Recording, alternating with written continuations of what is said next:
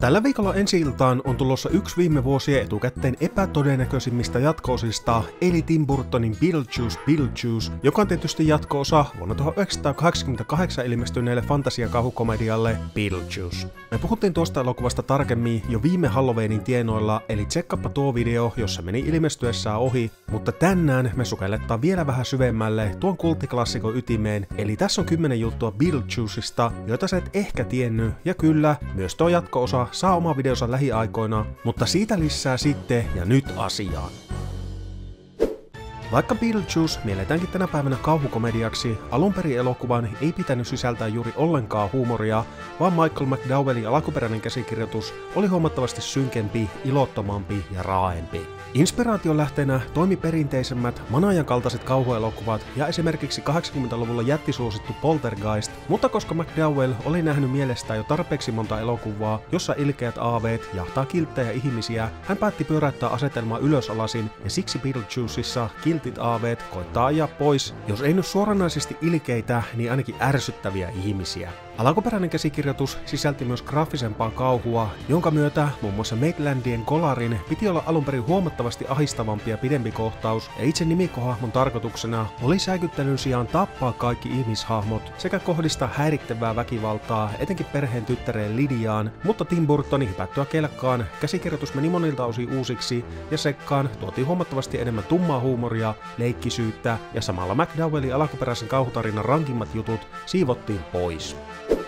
Alun perin ohjaaja Burton halusi nimikkorooliin oma suosikkikoomikkonsa Sammy Davis Jr., mutta koska studio ei syttynyt tälle idealle alakuunkaan, tilalle ehdotettiin Michael Keatonia, joka oli tehnyt nuihin aikoihin jo useamman komediaelokuvan, ja vaikka mies innostunutkaan asiasta alun perin, juteltuaan Burtonin kanssa hän osti idean ja vastasi lopulta itse hyvin pitkälti siitä, että Beetlejuiceista muodostui se hahmo, jollaisena me hänet nykyään tunnemme. Ikoninen Luke, pystyssä törröttäviä hiuksia, karua hammasrivistöä ja homeista ihoa myöten oli Keatonin ideoima, ja yksi iso inspiraation lähde hahmolle oli Texas Chainsaw Massacre 2. nähtävä hahmo Chop Top, jonka kalpeahko ulkomuoto ja kähisevä ääni vaikuttaa kieltämättä aika tutulta. Myös Beetlejuicen jatkuva jorina ja moottoriturpailu oli Keatonin idea, ja valtaosa hahmon dialogista on näyttelijä omaa ad-lippausta, eli improvisointia, ja kenties juuri tämän takia Keaton on myöhemmin kertonut Beetlejuice ollen kaikista hänen töistään se mielusin.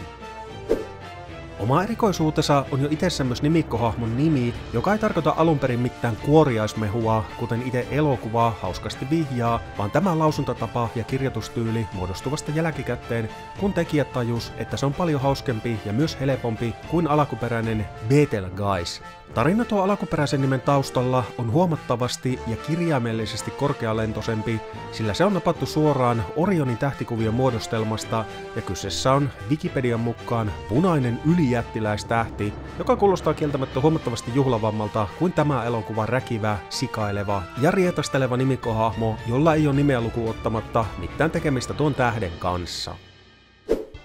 Michael Keatonin nauttiessa täysin palakein eräs toinen elokuvan näyttelijöistä tuskaili Beetlejuicen kuvauksissa ja hän oli Alec Baldwin. Nuihin aikoihin vasta kolmannessa elokuvassa näytellyt Baldwin on kertonut myöhemmin, ettei hän ollut vielä kameroiden eessäkään täysin kärryillä siitä, minkälaista elokuvaa oltiin tekemässä, eikä asiaa ottanut Burtonin introvertti ja omaleimainen tapa toimia näyttelijöiden kanssa, jonka johdosta hän ei esimerkiksi ohjeistanut Baldwinia kuvaustilanteessa käytännössä ollenkaan. Nuori näyttelijä vietti unettomia öitä pelätessään tämän kummallisen ja sekopäisen fantasiasekamelskan tuhoava hänen elokuvauransa heti alakuunsa, mutta lopulta hänkin ymmärsi Beetlejuicen potentiaalin näyteltyä ekassa kohtauksessaan Keatonin kanssa, jonka tauoton melskaaminen sai myös Baldwinin ulvomaan naurusta.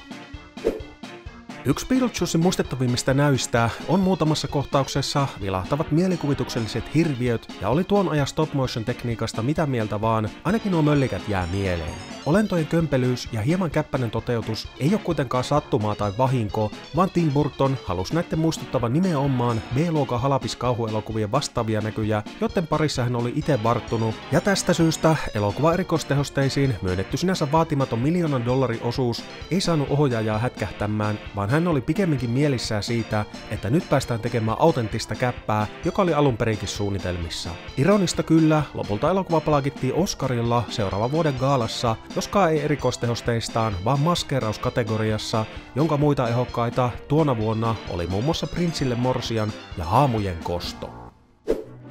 Beetlejuicelle omaleimaista on myös musiikki, ja vaikka Danny Elfmanin tuttu leikkisä pimputtelu onkin skoren puolella, vähän kärjistää sitä samaa kuin miehen muissakin yhteistyössä Burtonin kanssa, mukaan otettu myös muita, niin sanotusti oikeita kappaleita, ja näistä elämään on jääneet varsinkin Harry Belafonten Dejo, joka tunnetaan täällä päin banaanilastaajan lauluna, sekä lopussa kuultava Jumping the Line. Ensin mainittu soi ikimustoisessa illalliskohtauksessa, jossa Ave Maitlandit pistää koko köörin tanssimaan ja laulamaan tuon biisin tahtiin, ja koska tästä kohtauksesta tuli niin ikoninen, sama kappale soi Othoa näyttelevän Glenn Shadixin muistotilaisuudessa näyttelijän menehdyttyä vuonna 2010, joka on varmasti saanut hymynkarreen yhdessä toisenkin vieraan kasvoille, mikä oli todennäköisesti tarkoituskin.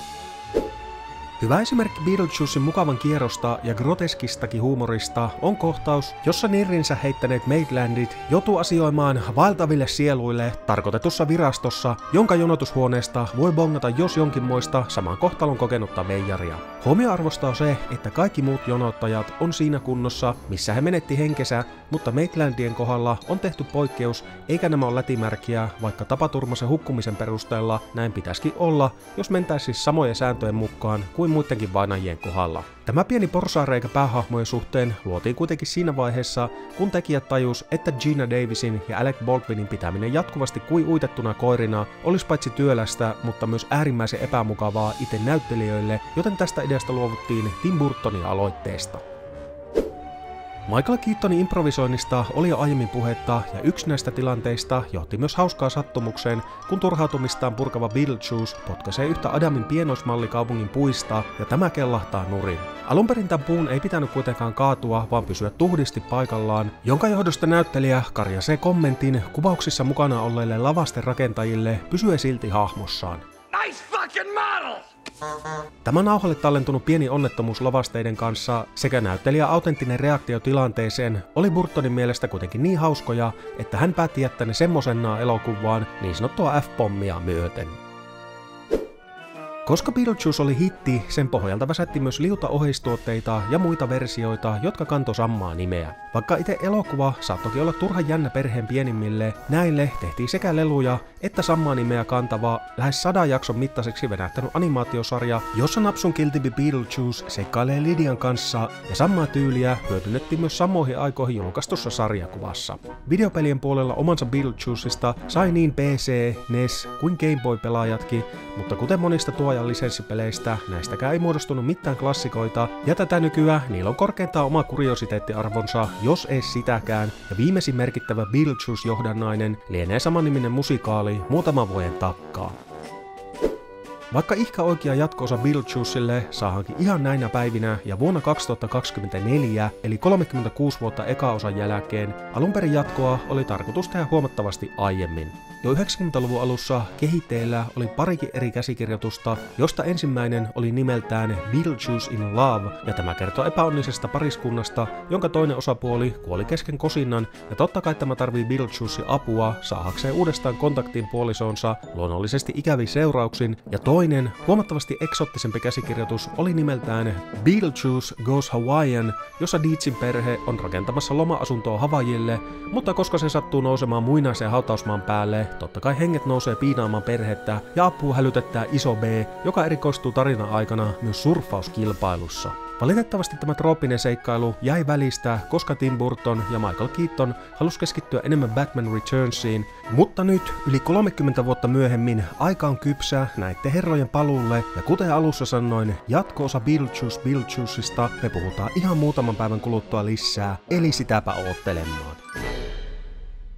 Siinä pääsisi satunnaista triviaa alkuperäisen Beetlejuicin tiimoilta, ja tuossa muutaman päivän kuluttua me palataankin jo asiaan mainitun jatkoosan myötä, joten viimeistään nyt kannattaa laittaa tälle videolle peukkua sekä kanavaa tilaukseen, niin et missaa tuota seuraavaakaan videota, ja jos sä haluat päästä näkemään sen ennakkoon ja nauttia muustakin bonussisällöstä, ja tulla vaikkapa kanavan Discordille, porisee niitä näitä, se onnistuu kanavan jäsenyyden myötä, ja semmosen voit hommata liityn napista esim. tämän video alta. Tähän loppuun haluan kiittää kanavan omia biomanaajien manaajia, manaajia, eli totta kai sponsoreita, ja he oli tämän videon kohdalla Kaapo, Oisku, Eppu Kupila, Luppis, Veiti Sorsa, Hannu Lukkarinen, Vihtori Simberg sekä Jantu Tube. Kiitos taas kerran mahtavasta tuesta ja ei ku ensi kertaan, moro!